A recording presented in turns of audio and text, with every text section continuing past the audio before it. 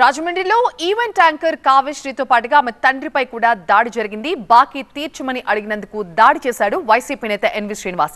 తనపై జరిగిన దాడి పట్ల ఆవేదన వ్యక్తం చేస్తోంది కావ్యశ్రీ. అమ్మాయి అని కూడా చూడకుండా తనపై దాడి చేశారంటూ ఆమె ఆరోపిస్తోంది.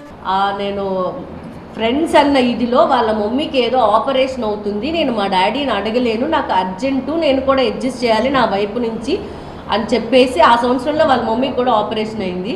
ఆ మొక్క ఆ ముక్క అన్నాడని సరే. మూడు లక్షలే కదా అదేం పెద్ద అమౌంట్ కాదు కదా అని అడ్జస్ట్ చేశాను. అడ్జస్ట్ చేసిన పాపానికి ఎంతలా రోడ్డు మీద పడి తిరిగామో మాకు తెలుసు మా ఫ్యామిలీ మొత్తం. పార్టీలో ఉండి ఒక నాయకుడు అనే స్థాయిలో ఉండి సో ఒక నాయకుడి దగ్గర ఆల్రెడీ రూలింగ్ చేసిన నాయకుడి దగ్గర స్థాయిలో ఉండి ఇలాంటి ఒక ఆడపిల్ల మీద ఆల్రెడీ ఆ పిల్ల వీడియో తీస్తుందని తెలిసి కూడా రెచ్చిపోయి అంత దమ్మేంటో అంత ధైర్యం దమ్ము ధైర్యం కాదండి ఫస్ట్ ఒక ఆడపిల్ల మీద. ఓకే ఈ పిల్ల వీడియో తీస్తుంది. అసలు ఆ బలుపు ఆ పొగరు ఆ అహవేంటో నాకు అర్థం కాలేదు. వీడియో తీస్తున్నానని తెలిసి కూడా నా మీద చేసుకున్నాడు. ఎప్పుడైతే ఆయన వైసీపీలో జాయిన్ అయ్యాడో అప్పుడే నేను మాజీ ఎంపీ గారి దగ్గరికి వెళ్ళాను. ఆయన దగ్గరికి నేను ఆయన ఆఫీస్కి మూడు సార్లు నాలుగు సార్లు వెళ్ళానండి. ఆయనకి తెలుసు విషయం. ఆయన అడిగాడు. సో ఆయన అడిగినప్పుడు ఈయన ఆయన గట్టిగా అడగలేదు. నేను నాకు ఇవ్వాల్సింది మూడు లక్షలే.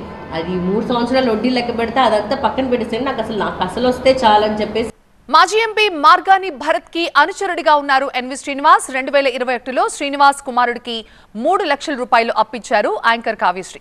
అప్పటి నుంచి తిరిగి ఇవ్వలేదు. ఇప్పుడు ఇంటికి వెళ్ళి డబ్బులు అడగడంతో కావ్యశ్రీతో పాటుగా ఆమె తండ్రి నాగరాజ్ పై కూడా చేయి చేసుకున్నాడు ఎన్వి శ్రీనివాస్.